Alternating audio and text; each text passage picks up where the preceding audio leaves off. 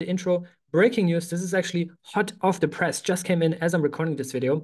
Babylon just announced a 70 million dollar fundraise led by paradigm and this is a very very big strategic raise that not only puts them eye to eye with the likes of eigenlayer maybe even monad but also berachain in that category of that caliber of chains that have this funding this amount of funding which allows them to scale aggressively massively expand the team and also grow the ecosystem at a much faster rate. And obviously, Paradigm is a very, very strong partner to have. And if you're an Avid Seeker subscriber, then you know about Babylon since 2022. We actually did an interview here on this channel with David, and also we had Babylon at Cosmoverse Medellin 2022. I think Cosmoverse Medellin, now in hindsight, was actually the most alpha packed conference we ever had, right? This was the coming out of stealth for Babylon, for Stride, for Kado, for Saga as well as Sei Network. They were all back in 2022 at Cosmoverse, which is why I really think that hosting physical events is the best thing that um, yeah that gives you the alpha as early as, as possible, right? So yeah, this is a huge, huge race, and I'm also very proud to be part of this journey, right? I'm also invested into Babylon